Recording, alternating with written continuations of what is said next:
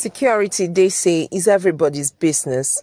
Hence the meeting to once again highlight the need for all to take seriously matters concerning it. We are all policing officers. We are all custodians of security and we must recognize our role either as watchdogs or informants and contribute to shaping a safer and more resilient society.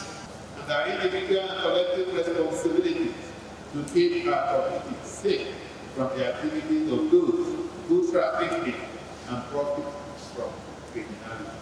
The Minister of State for Police Affairs, Imaan Sulaiman-Ibrahim, said it was necessary to bring stakeholders together to make them understand why they should get involved in security. The, the security and safety of each community rests on the shoulders of the, of the community dwellers. It's very important that we work as a team.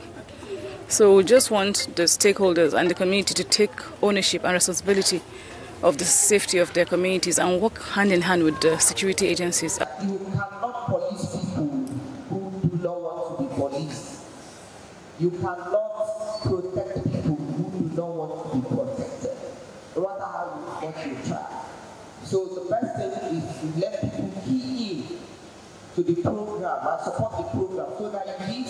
The minister had a brief inspection of the police clinic and school at the Central Police Station in Umuahia, where she also observed that some of the police facilities needed rehabilitation. The state chairman of the Traditional Rulers Council, Ezelinus Mba, agrees that security is a joint effort which cannot be ignored by citizens. Let the people, let the community know how to track down the criminals in their, in their, in their domain and be sure that they are living peace. But these people are coming in in various times. Even business owners are aware that every part of the state must be secure for their businesses to thrive. Not Banta we have at least not less than 50 vigilantes that are sorted in the cattle market. And at the same time, I'm working with police hand to hand. The citizens need to be highly security conscious and to know things that are happening around their communities. Communities need to be secured. If you don't secure the communities, the, the, the, the, the urban areas will be secure. Community policing has always improved the trust the citizens have for the police to some extent. In Umuahia for News Central, Chinwe Ugele.